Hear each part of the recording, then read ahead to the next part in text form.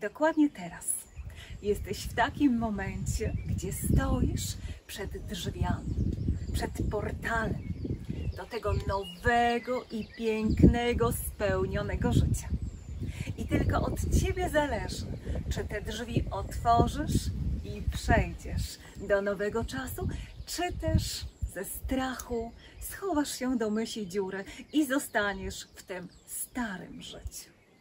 Dokładnie dzisiaj siła wyższa daje nam wskazówki. Jesteś na rozdrożu. Ta stara droga, którą już znasz, pełna trudności, barier, blokad, wzorów, programów i ta nowa droga.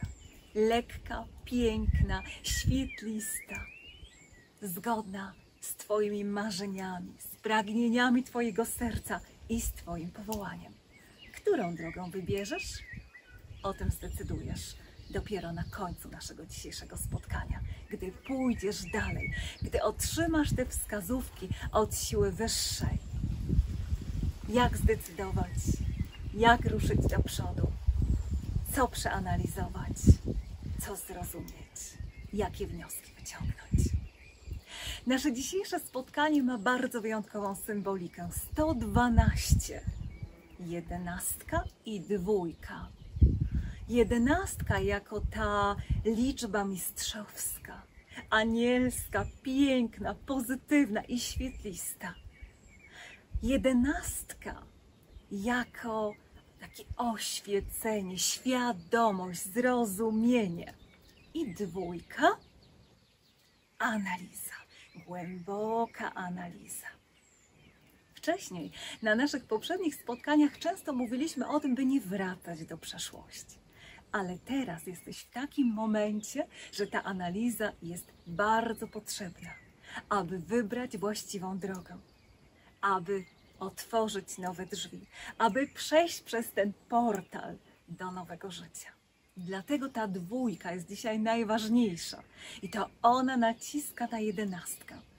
Jedenaście. Jedynka. Indywidualność, niepowtarzalność. To jesteś ty z przeszłości i to jesteś ty w przyszłości. Dwie drogi. Ta stara droga i ta nowa droga. I tą dwójką analizujemy tą starą drogę i analizujemy to nowe, czego pragniesz, co jest Twoim marzeniem i co chcesz zrealizować i zobaczyć w Twoim życiu. Uwolnij się więc od tego starego i rusz tą nową drogą przez te nowe drzwi do nowego życia. Życia, które jest idealne dla Ciebie, pełne szczęścia, spełnienia, miłości i obfitości. I tego życzę Ci z głębi mojego serca. Miej odwagę przejść przez te drzwi. Każdy z nas miał taki moment, gdy decydował się, że to stare odchodzi i że wybiera to nowe. Bądź więc w pełni Twojej siły, w pełni Twojej mocy. I tak jak ja zostawiłam moją przeszłość za mną, ból, cierpienie, złe doświadczenia, brak wiary w siebie, te wszystkie kompleksy, poczucie niższej wartości, to całe cierpienie mojego dzieciństwa i mojej przeszłości. I stałam się tą osobą, którą jestem dzisiaj. Tak i Ty możesz osiągnąć wszystko to, czego pragniesz. Tak jak ja zrealizowałam wszystkie moje marzenia i wszystkie moje pragnienia, tak i Ty możesz zrealizować wszystkie Twoje marzenia i wszystkie Twoje pragnienia. Wszystkie energie stoją dokładnie teraz do Twojej dyspozycji. Otwórz się więc na to, co nowe. Wejdź do tej windy, naciśnij ten numerek 1, 2, 3 lub 4, na który poziom chcesz się wspiąć. Może również na ten najwyższy, w tej czy w tej dziedzinie. I gdy ta winda dojedzie na to piętro i te drzwi się otworzą, to wyjdź do tego, co nowe i piękne. Bo wiesz, że są takie osoby, które naciskają na przykład numer 5, winda dojeżdża do poziomu piątego, a one powią, a nie, jednak nie. Chyba jednak pojadę na parter, a może do podziemi na minus dwa. Są takie osoby. Spaść w dół? Nie. To nie jest zgodne z Tobą. Ty idziesz do przodu, rozwijasz się, Twoje skrzydła już się rozwinęły i teraz lecisz w kierunku tego nowego i pięknego, co jest zgodne z Tobą, swoimi marzeniami i z Twoimi pragnieniami. Dziękuję. Widzimy się za tydzień na 113 spotkaniu i pamiętaj, jeżeli ktoś w Twoim otoczeniu potrzebuje tych wskazówek, inspiracji i motywacji, zabierz tą osobę na nasze kolejne spotkanie, bo zmieniasz coś w Tobie, zmieniam coś w nas, zmieniam coś wokół nas, zmieniam coś na ziemi i we wszechświecie. I bardzo proszę, zostaw komentarz poniżej. Czy czujesz ten moment? Czy czujesz tą energię, która dokładnie teraz staje do Twojej dyspozycji, by przejść przez portal do tego nowego życia? By przejść przez te nowe drzwi do tego, co piękne i pozytywne. Czy czujesz, że ta energia tego nowego już dokładnie teraz jest przed Tobą? Stoisz przed tymi drzwiami, a może jesteś już w tym momencie, że zdecydowałaś się, czy zdecydowałeś przejść przez te drzwi. Jak się czujesz? Czy czujesz Twoją siłę i Twoją moc, by ukształtować Twoje życie zgodnie z tym, czego pragniesz? Czy może jeszcze masz takie momenty strachu przed tym nowym i pięknym i najchętniej wycofałabyś się, wycofałbyś się do tej windy i nacisnął, czy nacisnęła ten jeden, czy minus jeden, by wrócić na parter lub do podziemi, bo boisz się, że to nowe i piękne jest zbyt piękne i zbyt nowe i zbyt nieznane. I wolisz jednak posiedzieć jeszcze troszkę w tym Twoim więzieniu tych starych wzorów. Jeżeli tak jest, to nie ma w tym nic złego, bo może jeszcze nie jest ten odpowiedni moment, by jednak otworzyć te drzwi. Może jeszcze potrzebujesz tych kilku dni, kilku miesięcy.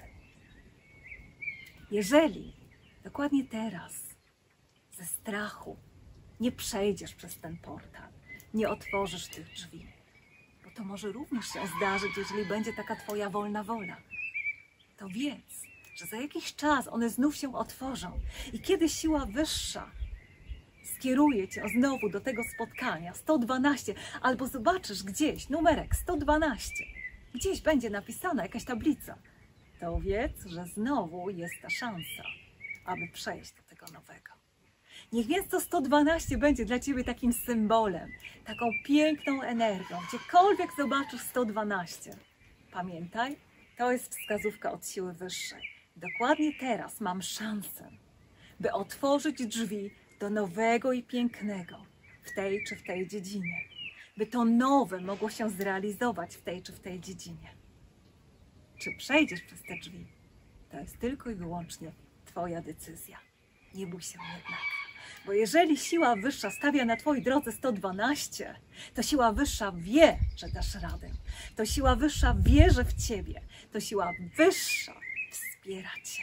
Dokładnie w tym momencie 112, by wybrać te właściwe drzwi, wybrać tą właściwą drogę. I gdy wybierzesz tą drogę zgodnie z Twoim sercem, tak jak ja wybierałam w moich snach te drzwi zgodnie z moim sercem, czułam, tak, teraz przejdę przez te drzwi, bo tak mówi mi moje serce, teraz przez te, teraz przez te, to zawsze wychodziłam na zewnątrz, do wolności, niezależności.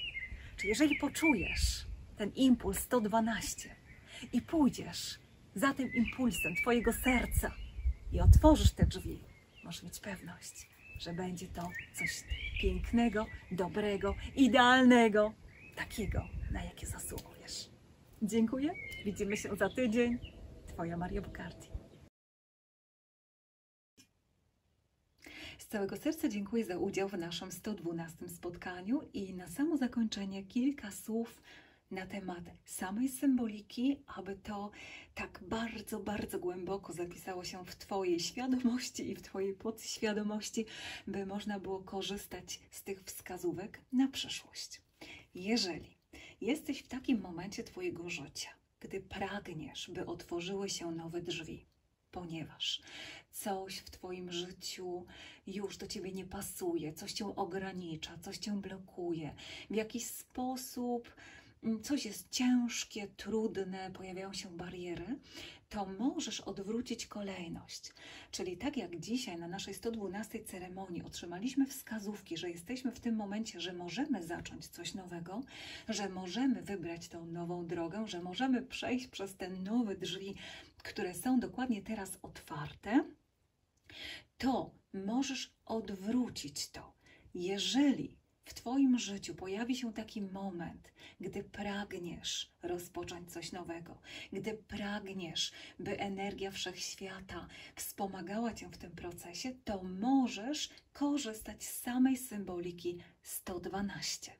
Czyli namalować tą cyfrę, włożyć ją na przykład do portmonetki, jeżeli chcesz, by coś nowego zmieniło się w sferze finansowej. Możesz namalować taki piękny obraz i powiesić w Twojej sypialni, jeżeli chcesz, by ta energia 112 przyniosła tą nową, nową, piękną miłość, może nowy związek, może polepszenie w aktualnym związku, może nową fazę w, w samym połączeniu z Twoim partnerem czy z Twoją partnerką. Możesz to 112 umieścić w sferze rodziny, jeżeli chcesz, by e, w tej dokładnie dziedzinie coś nowego, coś pięknego pojawiło się. Jeżeli chcesz, by to 112 wpływało jako takie polepszenie, taki nowy czas, nowy okres w Twoim zdrowiu, to możesz umieścić dokładnie to namalowane 112 na przykład w Twojej łazience, by codziennie rano przyklejone było na lustrze, czy namalowane na lustrze i przypominało Ci o tym, by myśleć w ten nowy sposób, by mówić do siebie nowymi słowami, by działać w nowy sposób. Każdej dziedzinie Twojego życia możesz wykorzystać to 112, by rozpocząć coś nowego, co jest lepsze, piękniejsze, co symbolicznie odczuwasz jako takie otwarcie się nowej drogi, nowe drzwi. I jeszcze raz, tak jak mówiliśmy na ceremonii, mamy jedenastkę, czyli to jesteś Ty z przeszłości, to jesteś Ty w przyszłości, ten stary obraz siebie, nowy obraz siebie. Stary związek, now, nowa jakość w związku. Stara sfera finansowa, nowa jakość w sferze finansowej. Mm, stare talenty, których jeszcze nie znasz, nowe talenty, które się aktywują. E, stare poczucie swojej własnej wartości, nowe poczucie swojej własnej wartości. I dwójka jako taka głęboka analiza przeszłości i przeszłości. Czyli ty chcesz przeanalizować to wszystko, tą starą drogą, wyciągnąć wnioski i ukształtować tą nową drogę inaczej, poprzez inne słowa, inne myśli, inne działania.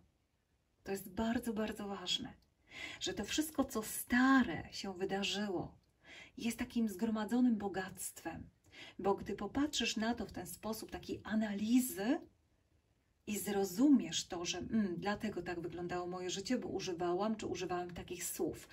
Um, takich, takie myśli się pojawiały, wątpliwości w siebie, wątpliwości w siłę wyższą, wątpliwości e, w moje talenty, wątpliwości w moją inteligencję, wątpliwości w moje marzenia, czy otaczałam, otaczałem się złymi ludźmi. To wszystko było w przeszłości. W przyszłości chcę, by wyglądało to inaczej, czyli analizuję przeszłość i kształtuję nową przeszłość. I jakie przesłania uzyskałam dla nas z kart Tarota na nasze dzisiejsze 112 spotkanie, gdy otwierają się nowe drzwi?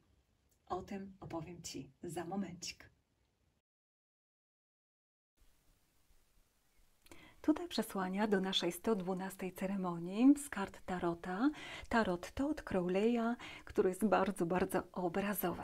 Zwróć uwagę na to, że uzyskałam jak gdyby dwie zupełnie przeciwne karty.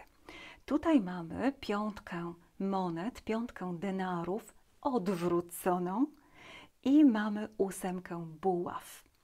Tutaj mamy książę również monet, denarów odwrócony i mamy dziewiątkę monet. Czyli gdy już w takim skrótowym rozumieniu widzimy, że tutaj mamy męczenie się, negatywne myśli, pełne cierpienia, które dotyczą spraw materialnych, odwrócone, czyli należy je zmienić na te dobre i pozytywne. Później przejdziemy bowiem do czasu, gdzie mamy mnóstwo energii, gdzie z szybkością osiągamy wszystkie nasze marzenia i wszystkie nasze cele. I jeszcze raz, odwrócony książę monet, czyli brak bogactwa, brak obfitości, brak spełnienia, brak radości życia, brak korzystania z życia, należy odrzucić i wówczas przejdziemy do zysku w sprawach również finansowych, czyli bogactwa, obfitości, spełnienia. I teraz może jeszcze w takich dwóch słowach sama symbolika. Ta pierwsza karta, która jest odwrócona, jest bardzo negatywna. Gdy ona pojawia się w tej pozycji prostej, czyli normalnej, zawsze mamy takie odczucie męczenia się, dręczenia się e, w sprawach materii. Czyli mamy tutaj mm, symbolikę, zwróć na to uwagę. Gdyby ta karta była prosta, teraz jest ona postawiona do góry nogami, ponieważ jest to dla nas to przesłanie, że mamy to zmienić, mamy odrzucić to dręczenie się, odrzucić ten stary obraz tego świata materialnego, zostawić to stare życie za sobą, by przejść do tego nowego. Tak jak tutaj, odrzucamy stary obraz, dlatego karta w pozycji odwróconej i przechodzimy do tego nowego, pełnego szczęścia, spełnienia, obfitości. Czyli na tej karcie dręczenia się, męczenia się mamy następujące symbole. Mamy trójkącik czerwony, który oznacza, że nasza siła, nasza moc jest zablokowana, jeżeli ta karta jest w pozycji prostej. Ona jest tutaj odwrócona. Mamy taki czworobok żółty, oznacza to, że nasze myśli bardzo się męczą, bardzo te myśli tak się starają, aby wyjść z tej sytuacji, aby znaleźć rozwiązanie, aby znaleźć drogę wyjścia, to przemienić. Mamy tutaj mm, naturalnie mm, symbol księżyca, czyli jeszcze w tym kolorze takiego jasno-niebieskiego oznacza to, że to jest coś mm, bardzo głęboko w naszej podświadomości co doprowadza do tego męczenia się, dręczenia się.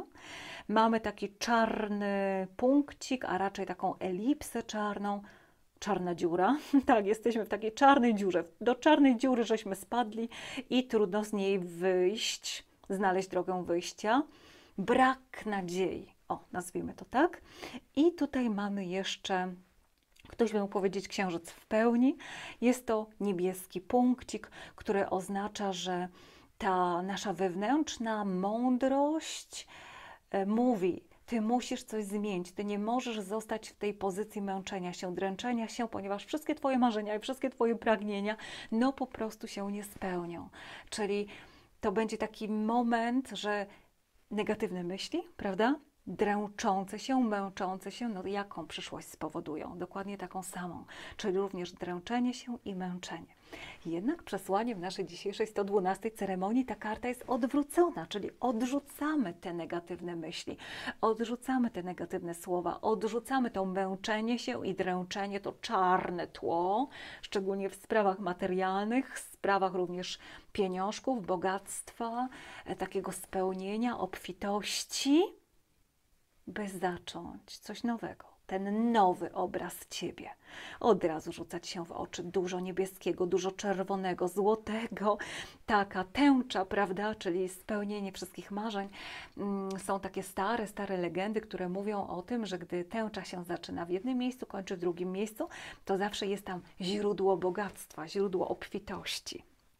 Na tej karcie mamy tą tęczę, mamy tyle tych pozytywnych kolorów, czyli jak odrzucisz tę starą, tą starą drogę, tego właśnie tej męczenia się, niepewności, braku wiary w siebie, braku wiary w siły wyższe, to zaczynasz tą nową drogę.